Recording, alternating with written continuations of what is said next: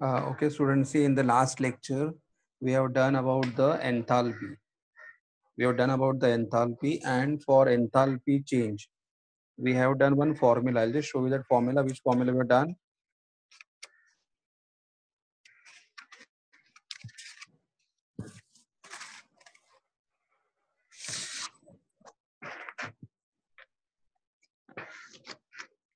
See in the last lecture, we have just done here, that is enthalpy change is given by which formula? Delta H is equal to delta U plus P delta V, where delta H is called as change in the enthalpy, delta U is called as change in internal energy, and P delta V together is called as a work.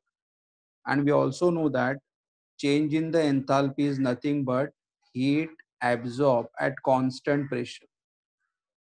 Change in the internal energy is nothing but what? Heat absorbed at constant volume and plus P delta V. So you should know that enthalpy change is nothing but what? Heat absorbed at constant pressure.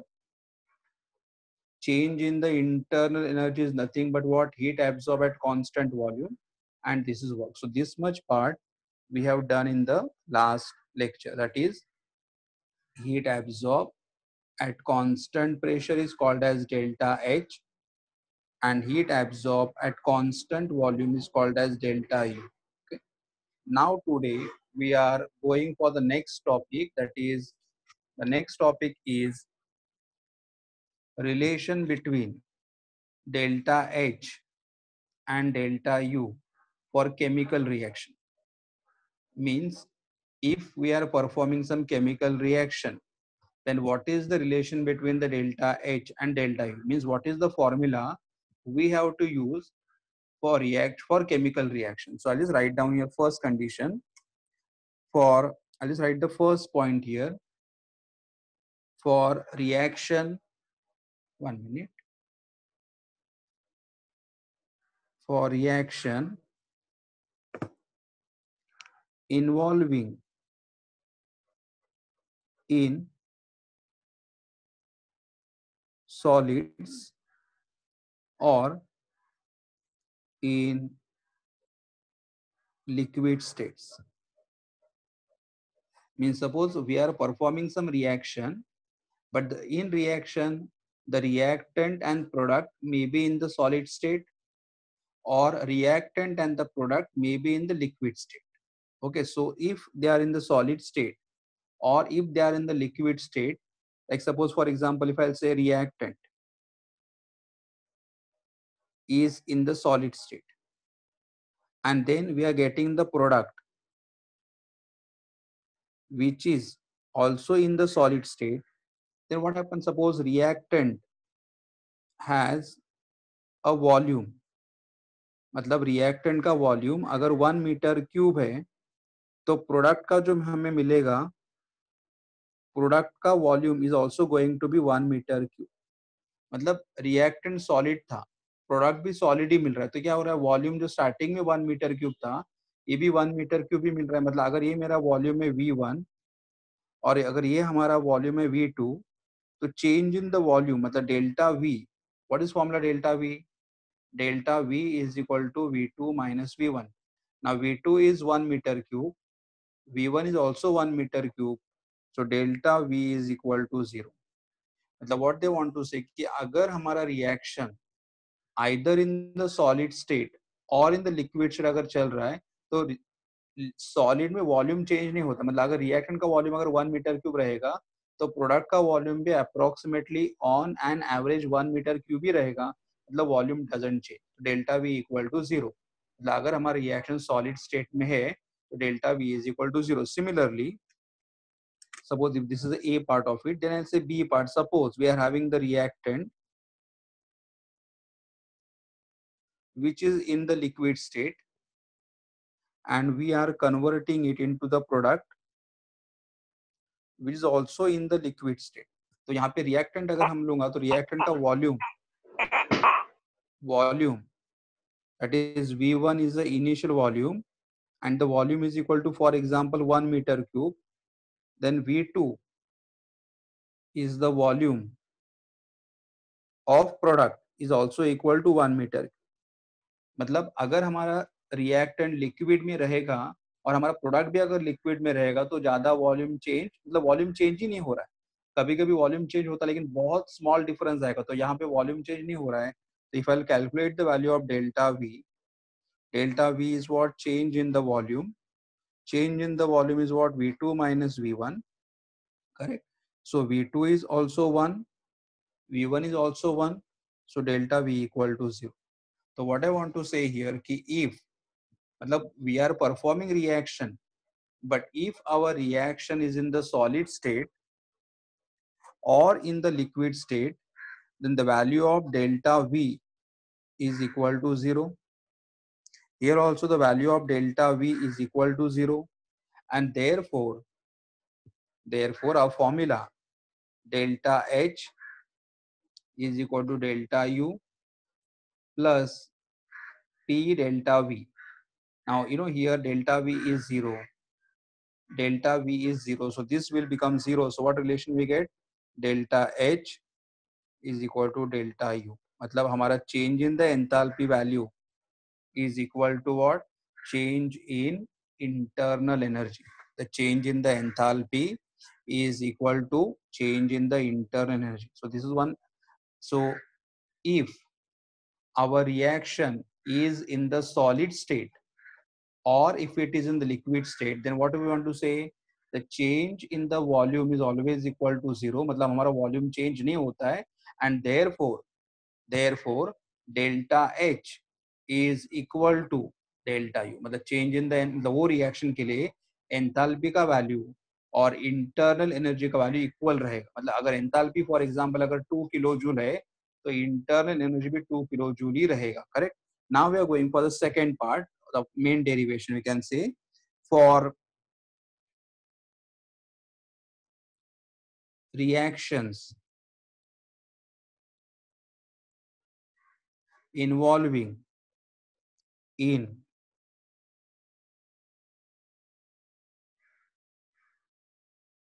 For reaction involve in gaseous मतलब अभी जो हमारा reaction जो रहेगा, हमारा reaction कौन से state में रहेगा? गैशियस स्टेट में रहेगा। नाउ गैशियस स्टेट में रहेगा तो just write down here so I just see here consider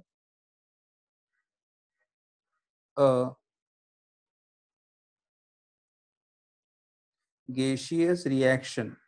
Now gaseous reaction means what कि हमारे यहाँ पे जो रिएक्टेंट रहेंगे और हमारा जो प्रोडक्ट रहेगा they are going to be in the gaseous state so consider gaseous reaction at constant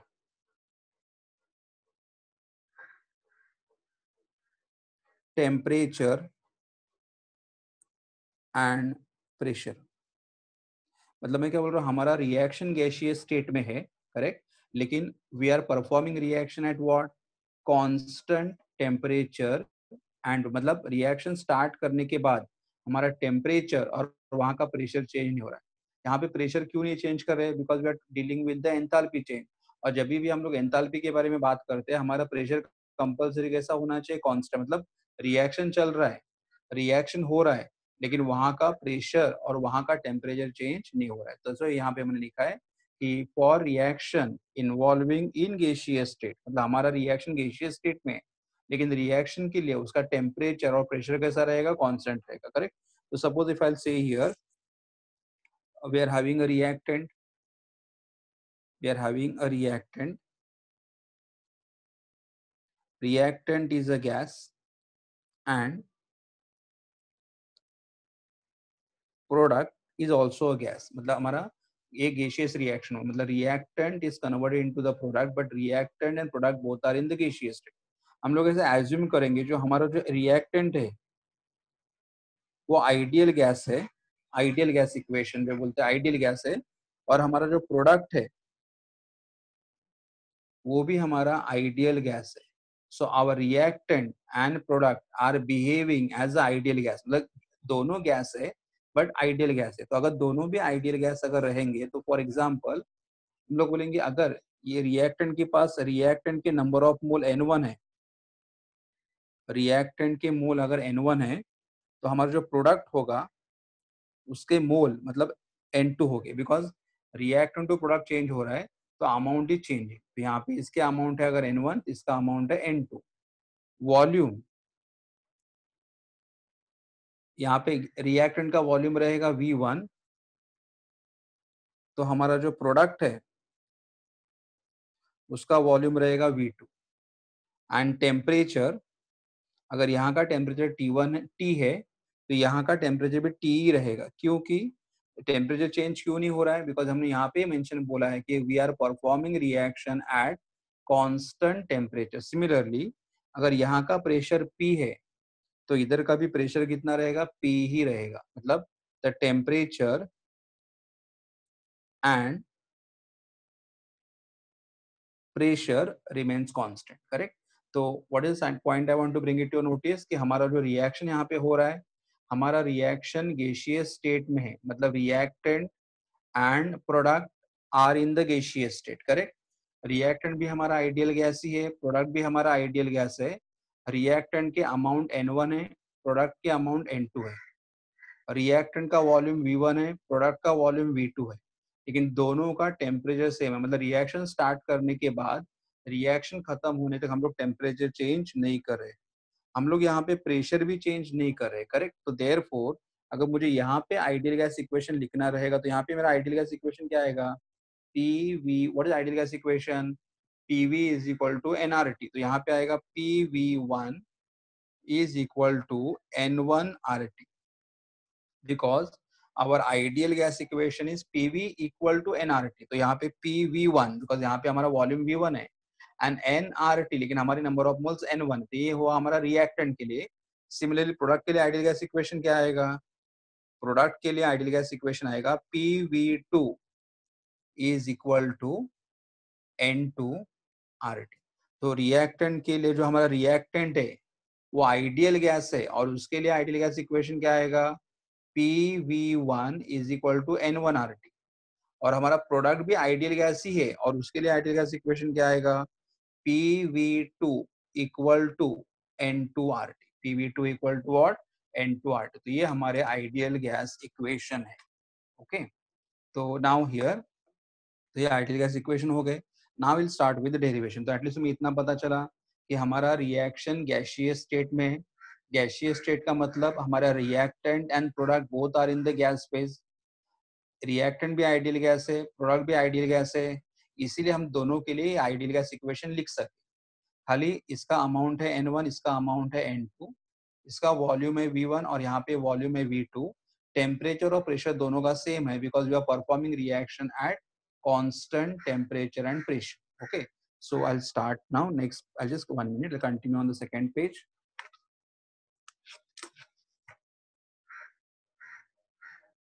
देखो हमारा इक्वेशन क्या था यहाँ पे कि delta H is equal to delta u plus p delta v okay now same equation i'll just write here say delta h is equal to delta u plus p delta v can be written as what v2 minus v1 delta v can be written as v2 minus v1 next step delta h is equal to delta u plus I'll open the bracket. So what I'll get over here PV2 minus PV1. Okay. And so here delta H is equal to delta U plus. Now see here, we got the value. What is the value of PV2? N2RT. And what is the value of PV1? N1RT. So I'll substitute the value PV2 is N2RT, PV1 is N1RT. जो हम लोगों ने यहाँ पे prove करके दिखाया था कि PV2 is equal to N2RT and PV1 N one R T तो मैंने यहाँ पे ये वैल्यू सब्सिट्यूट कर दिए। तो अभी रिलेशन कैसा आएगा देखो? Delta H is equal to delta U correct plus now here R T and R T that is common so in the bracket I'll write here N two minus N one is in the bracket and R T I am taking common so here I will have R T okay so here we get delta H is equal to delta U plus N2 minus N1. N2 is the final number of mole. N1 is the initial number of mole and so it can be written as delta N. जैसे हम लोग यहाँ पे लिखते हैं V2 minus V1 is delta V. वैसे ही N2 minus N1 is delta N. Delta NRT. Delta NRT. तो ये हमारा फॉर्मूला हुआ सी हम लोगों ने स्टार्टिंग में यहाँ से स्टार्ट किया था delta H is equal to delta U plus P delta V. And by using this formula, we got the relation for chemical reaction, but provided that the reaction should be in the gaseous state, correct? So delta H is equal to delta U plus delta nRT. Same equation है उसे हम लोग ऐसे भी लिख सकते हैं delta H is equal to delta U plus you no in the text book they write here delta N and they write here जी जी मतलब हम लोग जब डेल्टा एन का वैल्यू फाइंड आउट करेंगे, तब हम लोग खाली कौन सा स्टेट कंसिडर करेंगे? गैशियस स्टेट, कैसे मैं तुम्हें बोल देता हूँ, और एनआरटी। तो ये सेम फॉर्मूला है। Either you write down the first formula और you write down the second formula दोनों फॉर्मूला करेक्ट है, लेकिन यहाँ पे मैंने सेकेंड में थोड़ा और स्पेसिफाई कर delta n I write delta n. What is delta n? Delta n is equal to normally यहाँ पे डेल्टा एन था। और delta N is equal to क्या था N two minus N one तो N two minus N one but with this what right meaning of n2 now what is n2 see here n2 is a number of mole number of moles of what product and the product has to be in the which state gaseous state so what does n2 stand for n2 stands for number of moles of the product and the product has to be in the gaseous state correct so i'll just write down here n2 n2 stands for number of moles of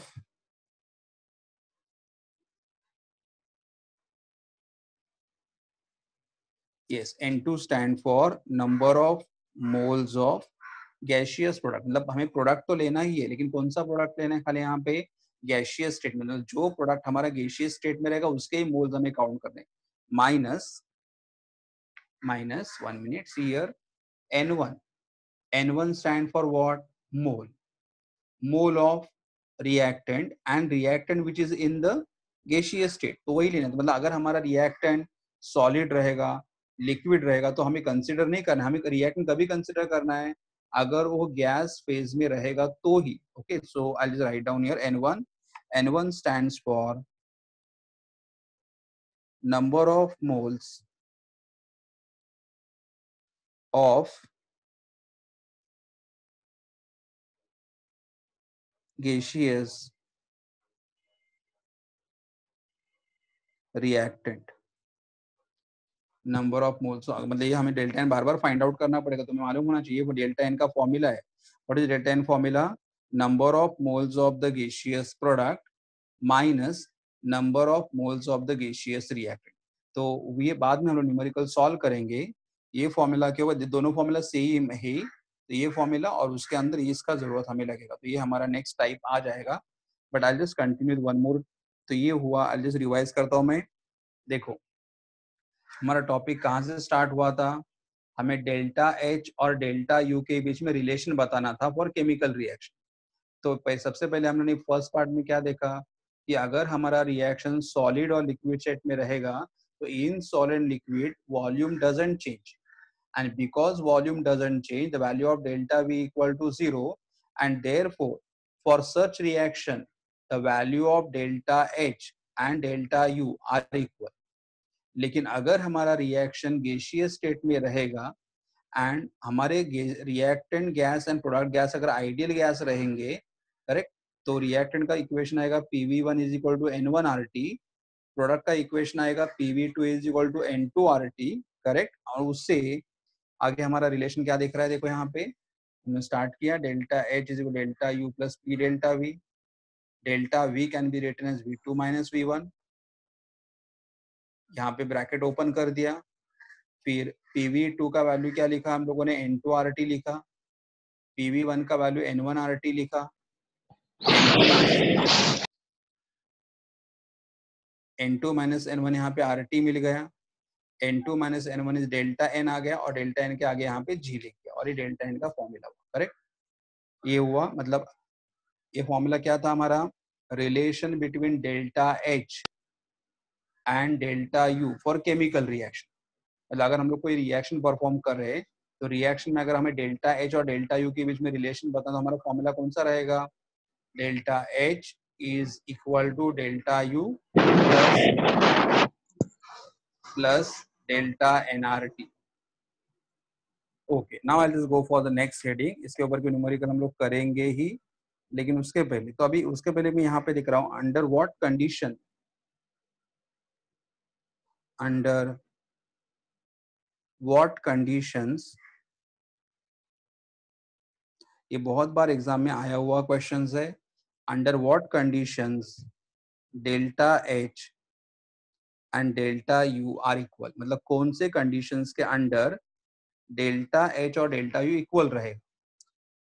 okay okay, कौन कौन से condition में सबसे पहले हम लोग एक तीन चार पॉइंट यहाँ पे है। First point I start for reactions R X N S मतलब reaction for reactions involving in solids or in liquid states. मतलब अगर हमारा कोई भी रिएक्शन अगर सॉलिड स्टेट और लिक्विड स्टेट में हो रहा है तो हमें अभी देखा था कि अगर हमारा रिएक्शन सॉलिड और लिक्विड स्टेट में अगर होगा तो delta V equal to zero होगा। Delta V equal to zero होगा तो रिलेशन क्या मिलेगा हमें?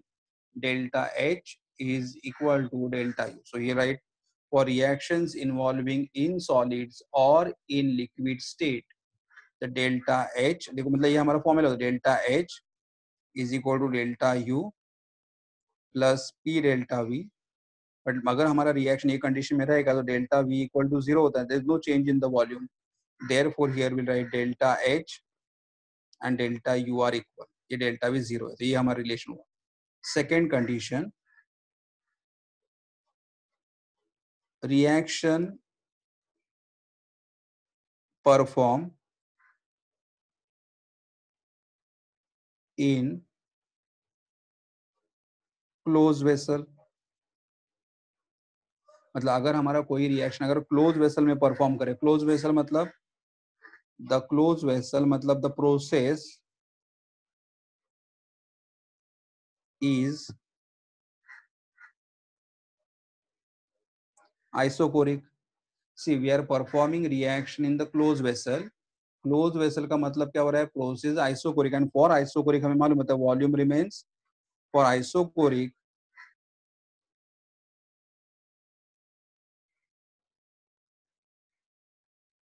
volume remains constant. Volume remains constant मतलब क्या आएगा? Delta v equal to zero आएगा। तो again the same formula use here delta h is equal delta u plus p delta v correct so delta h is equal delta U क्यों? Delta V का zero zero तो यहाँ पे भी relation वही मिल रहा है। मतलब अगर हमारा रिएक्शन सॉलिड और लिक्विड स्टेट में रहेगा तो delta V equal to zero आएगा and therefore change in the enthalpy is equal to change in the internal energy second अगर हमारा प्रोसेस क्लोज वेसल में हो रहा है तो क्लोज वेसल मतलब कैसे होगा? The process is going to be isochoric isochoric means what? Volume remains constant. So delta h are equal to delta u correct? A zero gaya and the last condition third if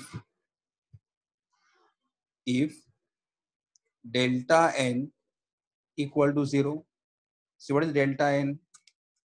Delta n is what? N2 minus n1 what is n2 number of moles of gaseous product.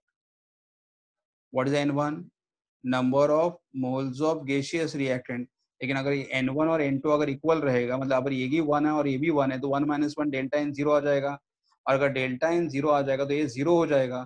तो what relation we get delta H is equal delta U but I just show you here कि if अगर हमारा delta n zero है तो what is the equation we are having delta H is equal delta U plus delta n R T लेकिन delta n zero है तो पूरा term zero हो जाएगा तो what is relation we get delta H is equal to delta U तो ये relation so these are the three condition first second and third these are three condition under which the value of delta H and delta U are equal the value of delta H and delta U are equal okay तो ये हमारा relation okay okay? तो ये exam में बहुत बार question आया हुआ है। बाद में मैं सारे तुम्हें फ़ोटो निकाल के भेज दूँगा। Now I am going for the next derivation तो ये फॉर्मूला बहुत ही इंपॉर्टेंट है, जो बता रहा है relation between delta H and delta U for chemical reaction okay delta H is change in the enthalpy delta U is a change in the internal energy delta n is the difference between number of mole. R is a gas constant. T is a temperature. Okay? So i'll just go on the next derivation.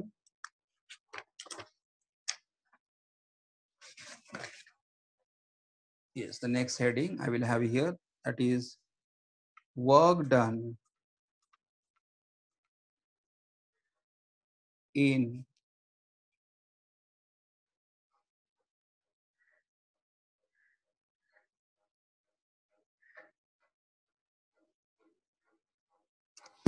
yes the next heading we are having here work done in chemical reaction मतलब अगर हम लोग कोई chemical reaction perform कर रहे हैं तो chemical reaction में कितना वर्क हो रहा है, उसे कैसे कैलकुलेट करेंगे? तो work done in chemical reaction so how do we calculate the work done in chemical reaction okay so see here how do we calculate here again we are having here see we are having work done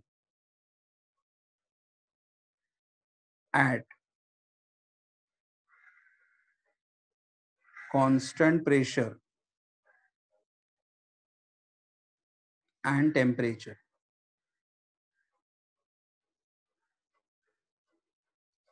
Work done at constant pressure, मतलब pressure constant रहेगा and temperature is equal which work formula W is equal to minus P external into delta V. ये formula हमारे पास है.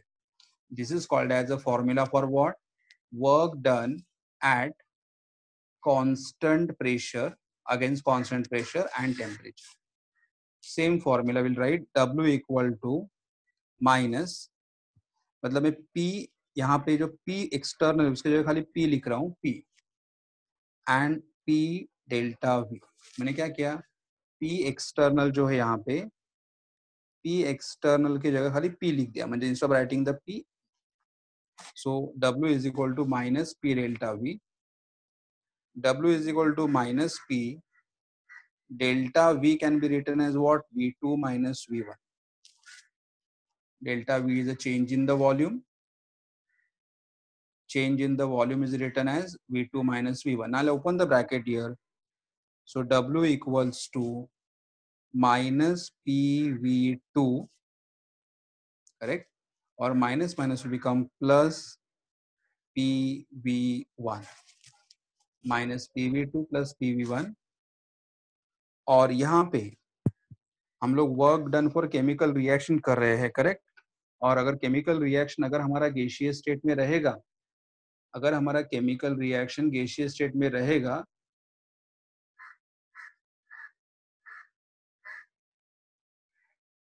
तो formula क्या रहेगा? P V one is equal to n one R T P V two is equal to n two R T PV1 is equal to N1 RT and PV2 is equal to N2 RT correct ये हमारा formula है। तो अभी मैं यहाँ पे भी क्या करूँ? ऑलरेडी हमने प्रूव करके रखा है। तो अभी सेम करूँगा यहाँ पे।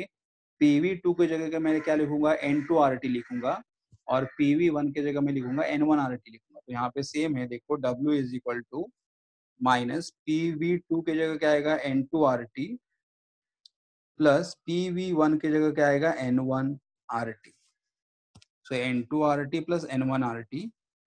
So, W is equal to, W is equal to अभी मैं क्या करूँगा यहाँ से?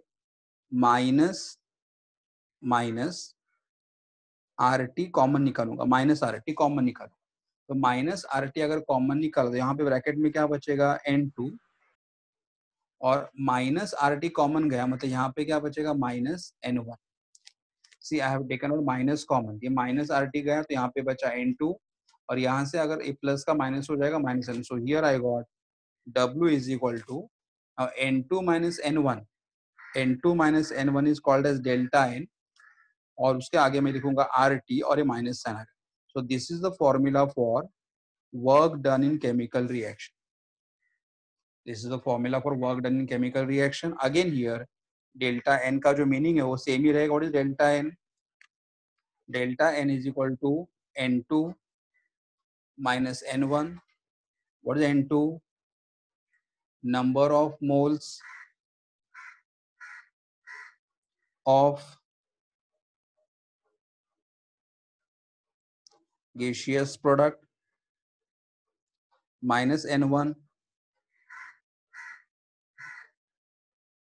number of moles of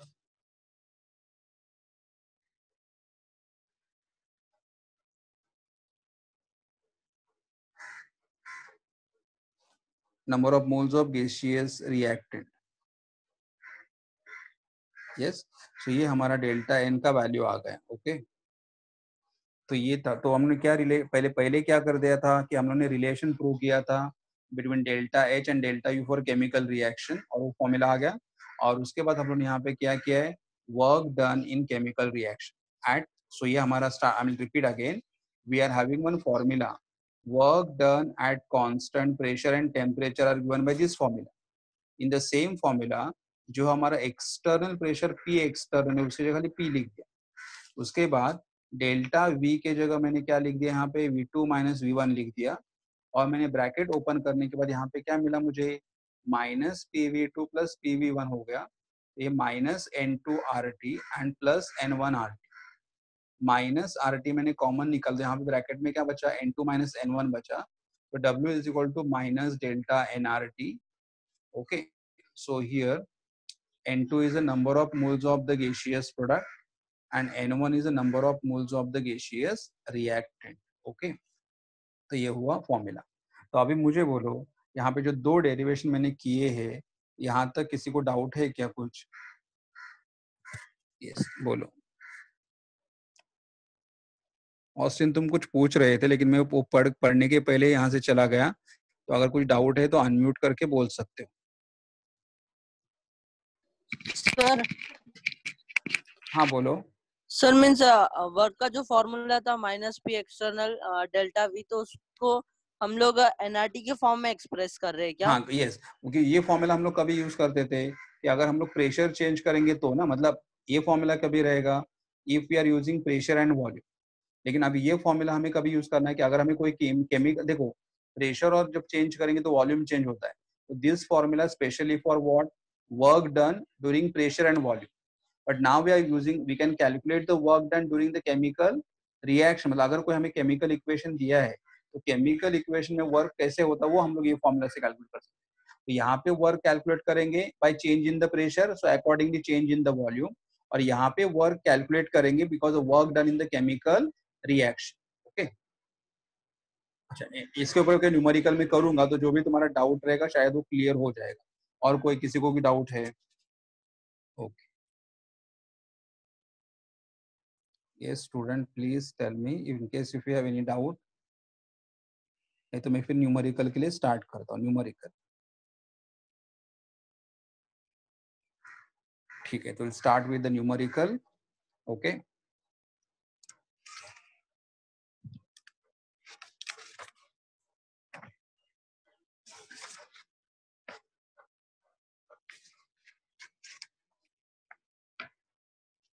okay numerical सबसे पहले हम लोग स्टार्ट करेंगे।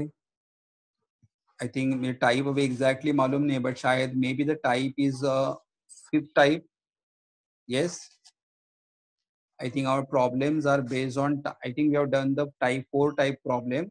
Now we are going for type 5 तो यहाँ पे दो फॉर्मूला हम yes okay thank you Vighnesh यहाँ पे हम दो फॉर्मूले यूज़ कर रहे हैं। एक फॉर्मूला रहेगा delta H is equal to delta U plus delta n R T ये फॉर्मूला यूज़ करना है हमें यहाँ पे। And other formula we are going to use is what work done is equal to minus delta n R T यहाँ पे हमने ये दो टाइप की प्रॉब्लम सॉल्व करेंगे delta H is equal to delta U plus delta n R T and W is equal to minus delta n R T ये दो formula है। डेल्टा एन का वैल्यू कैसे फाइंड आउट करने का, ये हम लोगों ने देखा हुआ है। ठीक है तो मैं एक प्रॉब्लम स्टार्ट करता हूँ पहले। ठीक है? तो problem one minute I share with you all मैं पहले एक सॉल्व प्रॉब्लम कर रहा हूँ ये टाइप का। तो solve problem solve that is 4.7 ये प्रॉब्लम है। अगर तुम्हारे पास टेक्स्ट बुक रहेगा, तुम टेक्स्ट बुक में देख सकते हो। नहीं रहेगा तो यहाँ पे मैं सॉल्व कर रहा हूँ, ठीक है? तो ठीक है just share with you all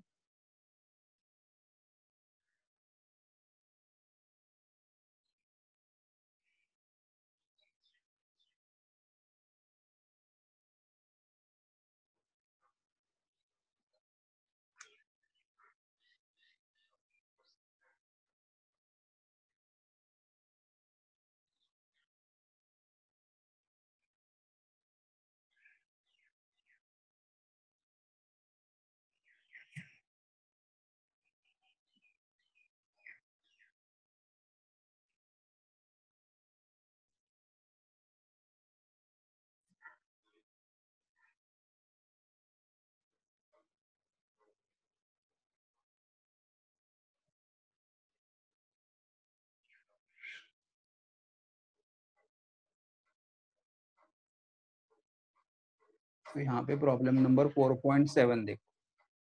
problem उन्होंने क्या बोला see delta H for the reaction is given reaction कौन सा दिया? देखो वहाँ पे उन्होंने reaction the given two carbon in the solid state plus three hydrogen in the gaseous state gives you C2H6 in the gaseous, ये reaction है।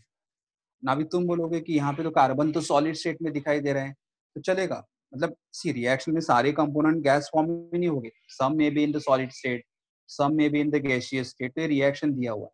और इस रिएक्शन के लिए जो एंथैल्पी चेंज दिया हुआ है what is the value of the enthalpy change minus 84.4 kilojoule minus 84.4 kilojoule and they are performing reaction at what temperature they are performing reaction at 25 degree celsius 25 degree मतलब 25 में अगर 273 add करोगे तो it becomes 298 kelvin और उन्होंने क्या बोला हमें calculate the value of delta U हमें डेल्टा यू का वैल्यू कैलकुलेट करना है ओके okay? यहाँ पे हमें डेल्टा यू का वैल्यू कैलकुलेट करना है and they have given the value of R. The value of the R they have given is equal to how much? 8.314 joule per Kelvin per mole.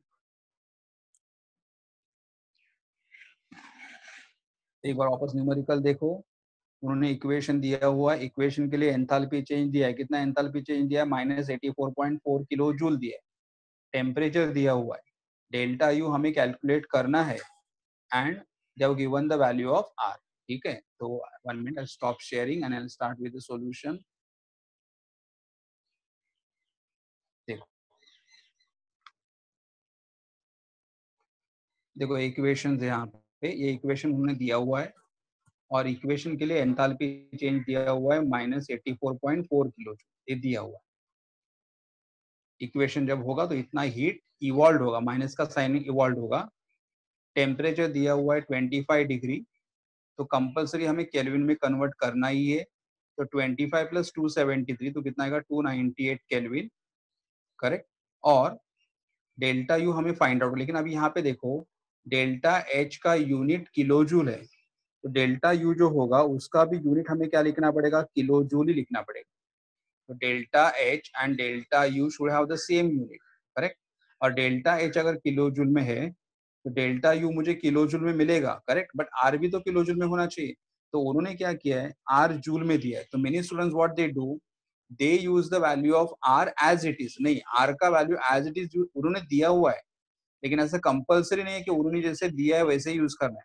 देखो, हमारा यहाँ पे यूनिट किलो जूल है तो मुझे ये आंसर किलो जूल में मिलेगा और फिर मैं इसे जूल से किलो जूल में कन्वर्ट करूँगा तो कितना आएगा? 8.314 into 10 raised to minus 3 correct and here I will get kilojoule per Kelvin per mole 8.314 into 10 raised to minus 3 kilojoule per Kelvin per mole तो अगर सी कोई स्टूडेंट ऐसा भी बोलेगा कि सर मैं इससे अच्छा आर अगर जूल में यूज़ करता हूँ करेक्ट आर अगर मैं जूल में यूज़ करता हूँ और मैं इसे किलो जूल का जूल में कन्वर्ट करूँगा तो तो भी चलेगा। आर जूल में रखो लेकिन इसे जूल में कन्वर्ट करो और फिर तुम्हें यहाँ पे आंसर तो जूल में मिल जाएगा। तो, तो आंसर तुम्हारे ऊपर है लेकिन हम लोग किलो जूल में क्यों सॉल्व कर रहे हैं? किलो जूल में क्या होता है कि वैल्यू थोड़ा स्मॉल होता है। जूल में करोगे तो यहाँ पे थाउज़ेंड से मल्टीप्लाई करोगे। अगर थाउज़ेंड से मल्टीप्लाई करोगे तो कितना आएगा? एटी फोर आएगा। तो वैल्यू बहुत छोटा होता है लंबा होता है। इससे अच्छा हमने किलो जूल में रखा। तो डेल्टा एच किलो जूल में है। इसलिए डेल्टा यू भी किलो जूल में मिलेगा। लेकिन अगर हम लोगों ने आर को किलो जूल में कन्वर्ट किया तो करेक्ट तो ऐसा कंपल्सरी नहीं है बिकॉज़ एग्ज़ाम में क्या करते हैं? They always provide the value of the R they always provide the value of R in which you need joule. लेकिन हमें उसे कन्वर्ट करके यूज़ करना है। तो now I use the formula लेकिन उससे पहले मैं यहाँ पे कैलकुलेट करूँगा delta n what is delta n मैं बार बार लिख रहा हूँ number of moles of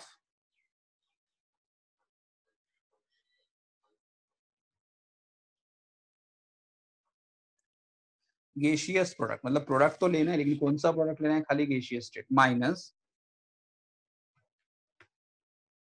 number of moles of gaseous reactant मतलब रिएक्टेंट भी हमें लेने लेकिन कौन सा तो अभी देखो, डेल्टा एन में कैसे फाइंड आउट करता हूँ यहाँ पे।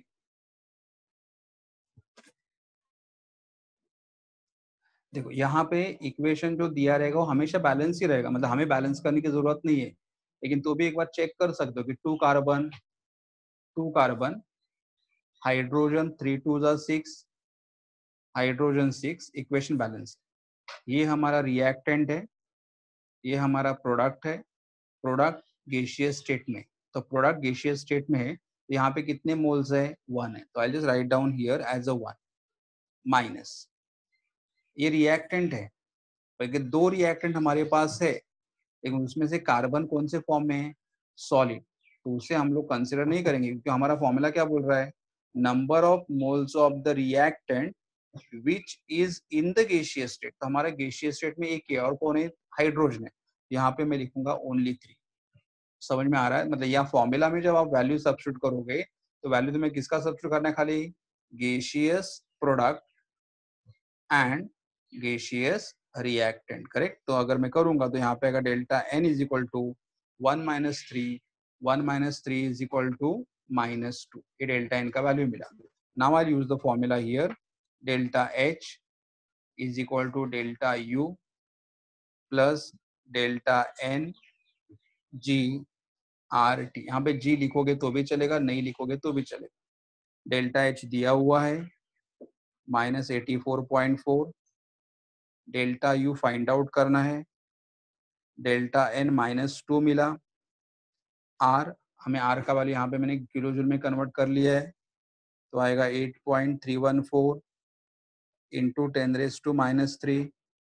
Temperature मैंने ऑलरेडी यहाँ पे 298 लिखा हुआ है तो यहाँ पे आएगा 298 करेक्ट तो I just start minus eighty four point four equal to delta U minus two into eight point three one four into ten raise to minus three into two ninety eight अभी देखो यहाँ पे क्या हो रहा है? एक तो तुम तो मैन्युअली मल्टीप्लाई करो मैन्युअली मतलब टू टू से eight point three one four से मल्टीप्लाई करो, उसे टू नाइनटी एट से मल्टीप्लाई करो और राइट हैंड साइड लेके आओ। लेकिन अगर तुम्हें ऐसा मल्टीप्लीकेशन नहीं जम रहा है then you have to do it by log मतलब ये जो राइट हैंड साइड है, वो तुम्हें लॉग से सिंप्लीफाई करना पड़ेगा। तो मैं लॉग से क्यों बता रहा हूँ? बिकॉज़ देखो मतलब मे भी तुम लोग मैन्युअली कर सकते हो, लेकिन हमें एग्ज़ाम में एग्ज़ाम में सब सब बच्चों को मैन्युअली नहीं आएगा। तो कोई लॉग तो लॉग कैसे यूज़ करना है वो तुम्हें यहाँ पे मैं बताता हूँ। अभी मैं क्या करूँगा लेफ़्ट साइड ऐसे रखूँगा। ये भी ऐसे रखूँगा। खाली मैं इतना पार्ट सिंप्लीफाई करूँ। यहाँ पे देखो मैं राइट साइड में दिखा रहा हूँ इधर। I just show it you और हियर लॉग ऑफ़ टू अभी टू का लॉग मुझे मालूम है। Zero point three zero one zero log of 8.314 0.9198 log of 298 will be 2.474 ठीक है plus. Why plus? Because all the yes Deep, Deep, Deepesh unmute करके बोल।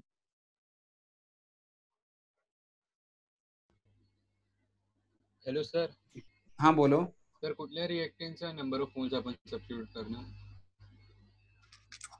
या ठिकाणी म्हणतोयस हो सर. ही जी रिॲक्शन त्याने दिलेली आहे ना ही रिॲक्शन बरोबर? सर मग दोघांपैकी कुठल्या आपण ठरवणार? कुठलं करायचं ना म्हणजे रिॲक्शन हीच घ्यायची आहे बघ. तर नाही दोन ते हा हा रिॲक्टंट ओके ओके रिॲक्टंट दोन आहेत. हो हो. बट आपल्याला रिॲक्ट कोणता घ्यायचा आहे? जो फक्त कुठल्या स्टेटमध्ये आहे? गॅशियस गॅशियस प्रोडक्ट कोणता घ्यायचा आहे? गॅशियस गॅशियस सॉलिड नाही घ्यायचा. कारण आपण फॉर्म्युला मध्ये काय लिहिलंय? Number of moles of the gaseous product म्हणजे product but in the gaseous याचे मोल्स किती आहेत? One minus number of moles of the gaseous react C reactant two आहेत. याचे मोल टू आहेत आणि याचे मोल थ्री आहेत. टू प्लस थ्री फाय पण आपल्याला ह्या घ्या- घ्यायचा नाहीये. का नाही घ्यायचा? सॉलिड फॉर्म हा मग सॉलिड नाही घ्यायचा फक्त गॅसच घ्यायचा म्हणून हे थ्री घे. One minus three is minus okay okay okay sir ठीक ओके सो नाउ हाँ जो नाउ हियर यहाँ पे जो राइट साइड में जो पार्ट है मैं उसको सिंप्लीफाई कर रहा हूँ. Log of two zero point three zero one zero log of eight point three one four zero point nine one nine eight and log of two ninety eight two point four seven four तो सारे log में add करूँगा तो eight plus two ten one carried then 9 plus 1 10 plus 14 plus 1 15 7 8 9 9 plus 3 12 12 13 14 15 16 3 point. Okay, now, ये मैंने यहाँ पे इनका लॉग देखा, ये लॉग है now I have to end with anti log तो अभी मुझे कोई तो एंटी लॉग बोलो 69 under five yes 69 under five कोई और एक क्रॉस चेक करो, विघ्नेश ने तो मुझे बता दिया है, लेकिन तो भी। 69 अंडर 5 4955 आ गया। तो यहाँ पे 4.955 into 10 raised to 3 is somebody else is also cross check?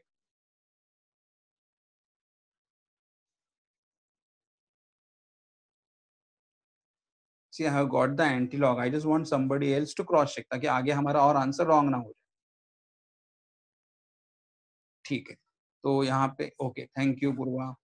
तो यहाँ पे आएगा माइनस तो here we got we got minus 84.4 equal to delta U minus और देखो ये पूरा अभी हमने सॉल्व कर दिया, और पूरा सॉल्व करने के बाद मुझे कितना मिला यहाँ पे? 4.955 into ten raise to plus three मिला। तो here I write 4.955 into ten raise to plus three मिला। और यहाँ पे ऑलरेडी एक पावर था। कौन सा पावर था? Ten raise to minus three था। तो अभी देखो नॉर्मली ऐसे इजी होता है कि यहाँ का पावर प्लस थ्री और यहाँ का टेन का power minus three automatically cancel तो what is remaining here minus 84.4 equal to delta u minus minus 4.955 okay तो यहाँ पे अभी मैं डेल्टा यू मुझे फाइंड आउट करना है तो डेल्टा यू में यहाँ पे रखता हूँ और ये वैल्यू में इधर लेके जाता हूँ। यहाँ पे फिर क्या मिलेगा minus eighty four point four plus four point nine five five is equal to delta U and therefore delta u is equal to now see here I'll do, I'll do the subtraction एक number हमारा है 84.4 ये minus है और एक number है हमारा nine five five. Subtraction में करूँगा। Five, ten minus five five.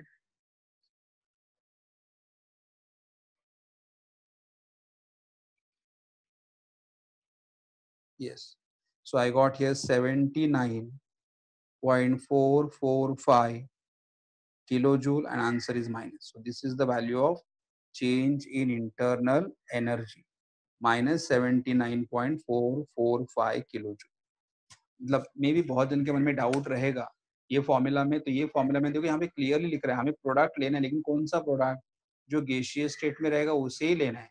Reactant हमें लेना है, लेकिन कौन सा रिएक्टेंट जो गेशियस स्टेट में रहेगा, वही यहाँ पे लेना है। ओके तो ये हुआ।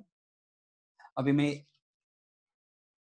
इस टाइप का एक प्रॉब्लम कर दिया, और अभी ये टाइप का एक प्रॉब्लम कर देता हूँ। ओके और बाकी के जो प्रॉब्लम रहेंगे, वो हम लोग नेक्स्ट लेक्चर में करेंगे। तो I just share with you all the मैं तुम्हें बुक शेयर करता हूँ। एक मिनट, मैं देखता हूँ टाइम कितना हुआ है।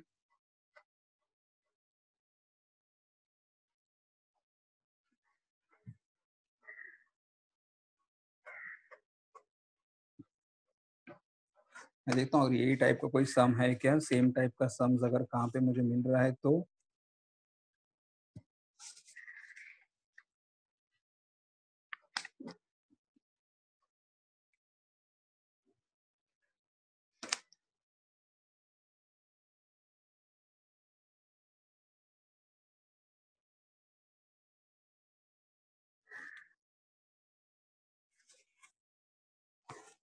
स्टूडेंट मैं यही टाइप का और एक सम कर देता हूँ, तुम्हें एक मिनट थोड़ा होल्ड करो।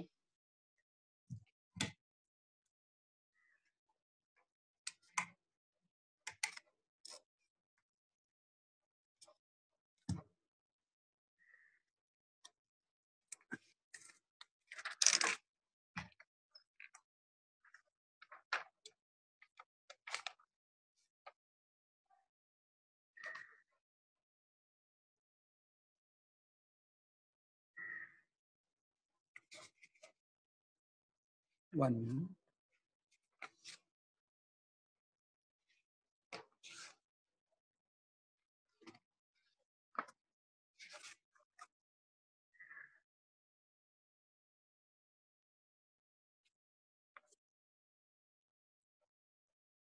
ओके स्टूडेंट यहाँ पे ये टाइप का एक ही प्रॉब्लम है, मैं थोड़ा नेक्स्ट लेक्चर में और एक पॉइंट ये टाइप का करूँगा और दूसरे और टाइप के प्रॉब्लम करेंगे, फिर तुम लोग को मैं होमवर्क के लिए भेज दूँगा, ठीक है? तो अभी मैं यहाँ पे स्टॉप करता हूँ and then will continue in the next lecture ठीक है? ये रिकॉर्डिंग